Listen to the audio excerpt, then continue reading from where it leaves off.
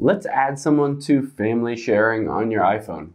Now, if you want to add somebody, say somebody just moved in, a significant other, or you had a child, you can always add that person and change, customize how you want to share and what you want to share with them. I'm going to walk you through the steps. Let's head into our settings here and you'll see right under my name is family and I will tap on that. Now you can see here is Trevor and Haley. If I wanted to say add a child or another adult, I can tap the plus icon at the top right and it will say invite family. You can add up to four more people to your family. And it suggests people here, you can say invite others, or if I want to, I could create this child account.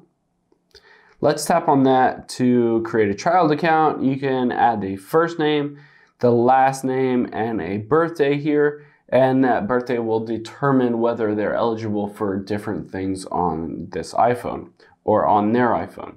So you can enter in all their information and just say verify you're an adult. Or if you wanted to add an adult, let's go here and we'll just tap invite others and you can send it through airdrop messages or mail and you'll be able to invite this person to be a family member. You can share stuff like your apple music subscriptions your podcast your icloud sharing drive all that stuff with them and you can customize exactly what they can and can't have access to. Hope this helps. Thanks for your time today and i'll see you on the next one